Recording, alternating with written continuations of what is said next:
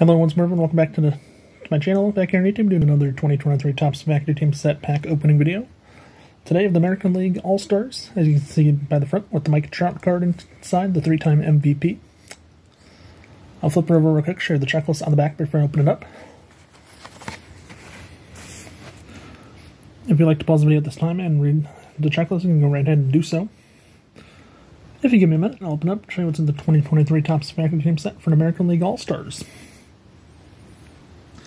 First cards of Mike Trout, Bobby Witt Jr., one of my favorite teams, the Kansas City Royals.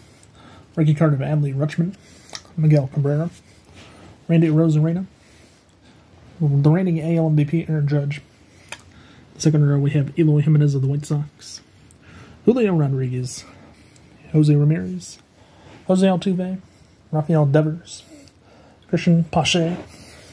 In the third row we have Shohei Ohtani hitting, Corey Seager, Shohei Ohtani pitching, Byron Buxton, and last but not least, Vladimir Guerrero Jr. Once again, from right to left, it's a 2023 Topps Factory Team set for American League All-Stars. For all you baseball fans out there. If you liked today's video, you can go and like it this time. And please remember to watch, like, and subscribe. Don't forget to tell your friends to do the same if they're not done so already. And please also remember to hit that notification button below so you know when I upload a new video. With that being said, have a nice day, stay safe, and I'll see you in the next video. Bye for now, and peace out, everyone.